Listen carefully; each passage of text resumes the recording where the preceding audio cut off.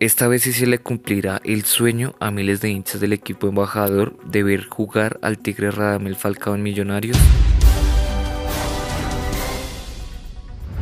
Toda esta ilusión comenzó cuando la esposa de Falcao subió una reciente foto en su perfil de Instagram. De inmediato un hincha de Millos le preguntó que si están felices porque Falcao va para Millos, a lo que la esposa de Falcao le respondió que sí con una carita enamorada. Este sería el primer bombazo que confirmaría la llegada del Tigre para este semestre al club de sus amores. El segundo rumor se conoció por medio de un video que circula en las redes sociales donde le preguntan al Pitirri Salazar por Falcao y esta fue su respuesta.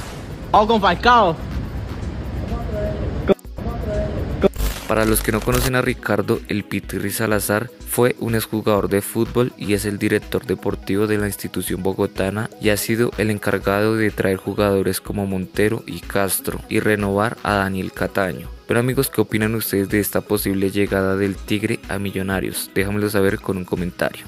Falcao García está entrenando con el conjunto de los Millonarios profesional y es la gran esperanza del balompié colombiano.